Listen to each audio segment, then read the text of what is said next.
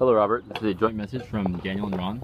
Uh, these stairs are in a terrible state of disrepair, which you may or may not be aware of. Uh, I tripped and fell and hit my head on this metal bar last night while walking through these weeds. Um, I just thought I would throw that out there. And then this air conditioner. Uh, yeah, uh, I don't know if that's supposed to do that. And that goes into my, my room and stuff. Anyways, uh, always a pleasure.